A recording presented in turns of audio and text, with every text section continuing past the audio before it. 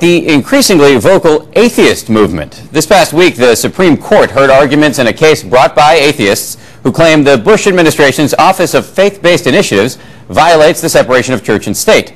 This is just one example of the mounting assertiveness of atheists who are arguing loudly that religion is not only false, but also a threat to civilization. There is no God, and you are not going to hell. Atheists and evangelicals facing off outside the Supreme Court. I don't say you're, You're wrong. saying it comes from God. I say it's your You're opinion. wrong. The occasion, a lawsuit brought by the nation's largest atheist group, the Freedom from Religion Foundation.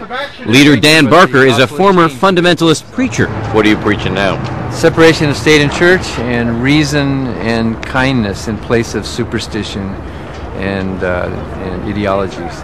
But Barker and his wife, co-president Annie Laurie Gaylor, say the problem is bigger than the Bush administration and its faith-based initiatives.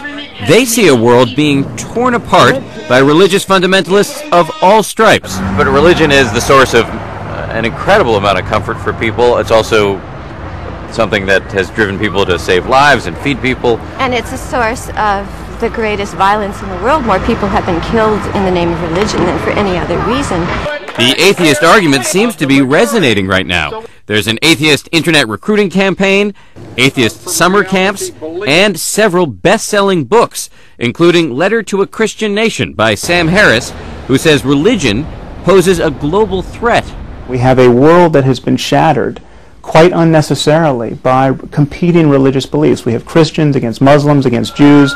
They're, they're making incompatible claims on real estate uh, in the Middle East. Um, uh, as though God were some kind of omniscient real estate broker and you know, doling out par- parcels of land to his cho- chosen flock. People are literally dying over ancient literature.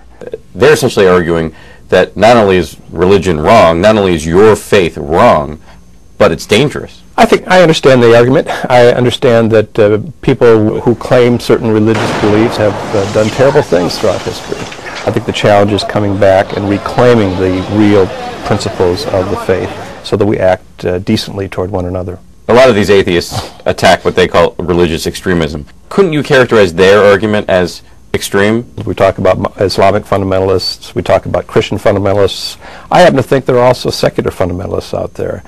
And in some ways their tactics and their arguments are just, to me, is just as offensive as uh, religious fundamentalists. I was speaking to an evangelical minister, a leading evangelical minister yesterday, who described your movement as a firecracker going off in the forest. In other words, you're really not going to make much of a difference.